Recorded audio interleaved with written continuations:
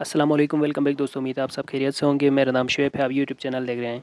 इस वीडियो में मैं आपको बताने वाला हूँ कि आप कैसे मोशन लीप ऐप यूज़ कर सकते हैं। ये एक ऐसी ऐप है जिससे आप फ़ोटो को वीडियो में चेंज कर सकते हैं टेक्स्ट को आप इमेज में चेंज कर सकते हैं।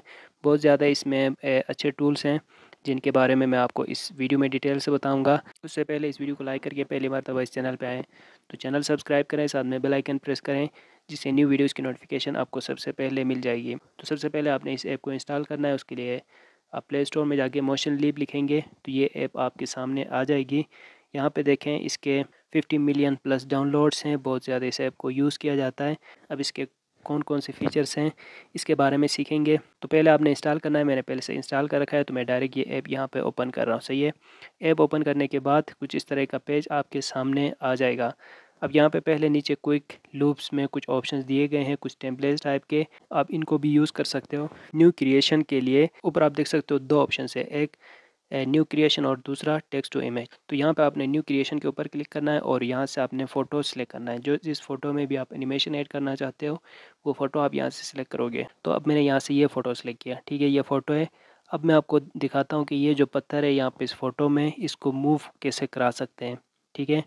अब ये फ़ोटो है, इसमें मैं आपको मूव करके ये वीडियो में चेंज करके दिखाऊँगा, सही है? अब इसको एनिमेट करने के लिए एनिमेट का टूल है, पहले इन टूल्स को समझते हैं, एक तो आप यहाँ पे कलर एडजस्टमेंट्स कर सकते हो, ठीक है? एंड में कॉन्ट्रास्ट सिचुएशन टेम्परेचर ये सारे ऑप्शन यहाँ पर मिल जाते हैं, इनसे आप कलर एडजस्टमेंट्स कर सकते हो, फिर यहाँ पे फ़िल्टर्स हैं फ़िल्टर्स अपनी फ़ोटो के ऊपर आप अप्लाई कर सकते हो फ़िल्टर के बाद कैमरा फिक्स है, इसको जब आप ऐड करते हो अपने फ़ोटो के ऊपर तो ये यहाँ पे इस तरह मूव होते हुए दिखाई देगा, ठीक है? शेक होते हुए धीरे धीरे मतलब इसको हम क्या कह सकते हैं? इसको हम बस ये एक मोशन इसमें ऐड हो जाती है, ठीक है?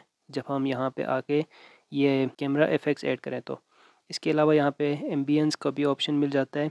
उसके बाद यहाँ पे ये बीड लूप्स का ऑप्शन है। बीड लूप्स में भी आप ये बीड लूप्स इसमें ऐड कर सकते हो। ये म्यूज़िक टाइप के हैं, अगर आप ये भी ऐड करना चाहो तो ऐड कर सकते हो, ठीक है? बीट लूप्स में बीट्स हैं म्यूज़िक्स हैं, वो आप अपने फ़ोटो के ऊपर लगा सकते हो। ओवरले में जाके फिर आप यहाँ पे ये इफ़ेक्ट ऐड कर सकते हो, जैसे स्मोक या फिर बटरफ्लाइज या फिर रेन वगैरह, ये जो हैं इफ़ेक्ट्स हैं डिफरेंट ये आप अपने इस फ़ोटो के ऊपर लगा सकते हो। अब यहाँ पे एलिमेंट्स का भी ऑप्शन मिल जाता है एलिमेंट्स में भी काफ़ी सारे एलिमेंट्स मिल जाते हैं। ये भी आप अगर फ़ोटो में लगाना चाहो तो लगा सकते हो। उसके साथ ये इफ़ेक्ट्स हैं इफ़ेक्ट में भी आप देख सकते हो, जैसे ये इफ़ेक्ट है डिस्पर्जन इफ़ेक्ट जहाँ पे आप रखोगे वो डिस्पर डिस्पर्जन उसमें ऐड हो जाएगा, ठीक है? इस तरह की एनिमेशन से मेरा इंटरनेट थोड़ा सा स्लो है इसलिए ये जल्दी से ओपन नहीं हो रहे हैं। तो अगर आप देखना चाहो तो यहाँ पे ये इफेक्ट्स भी देख सकते हो। इसके बाद जो मेन टूल है, दो टूल्स एनिमेट और सिकाई के। सिकाई चेंज करने के लिए आप ऊपर सिकाई में क्लिक करोगे। अगर आपके फ़ोटो में कोई सिकाई है तो वो चेंज हो जाएगी। यहाँ पर कोई सिकाई नहीं है, इसलिए चेंज नहीं हो रही है। मेन जो टूल है, जिसको सीखना है इस ऐप में, वो है एनिमेट का, कि हम अपने फ़ोटो में हम एनिमेशन कैसे ऐड कर सकते हैं। उसके लिए जब हम एनिमेट के ऊपर क्लिक करें तो ये एक पाथ एक ऑप्शन स्टार्ट में नज़र आ रहा है। इसको हम सिलेक्ट करेंगे और यहाँ पे इसमें जो रेन टाइप के ऐड हो गए इसको हम ख़त्म करते हैं और लेस में जाके, ठीक है? तो दोबारा यहाँ पे फ़ोटो में आते हैं। अब यहाँ पे मैं आपको ये पत्थर मूव कराते हुए दिखाने वाला हूँ। उसके लिए एनिमेट पाथ फिर पाथ में हमने इस तरह एरोज़ देने ठीक है? इस तरह एरोज़ बनाने हैं। जो भी चीज़ आप मूव कर, करना चाहते हो, उस पर आप एरो सेट करोगे इस तरह, ठीक है? कोई एडिटिंग आपसे सही ना हो तो ये एरो बटन है, इससे आप हटा सकते हो।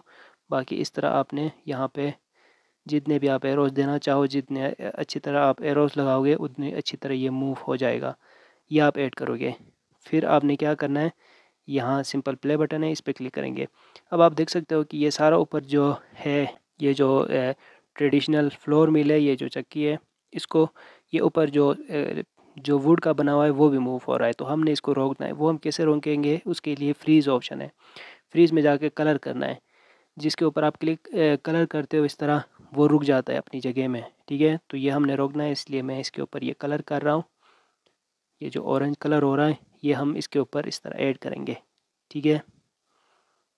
ये इस तरह।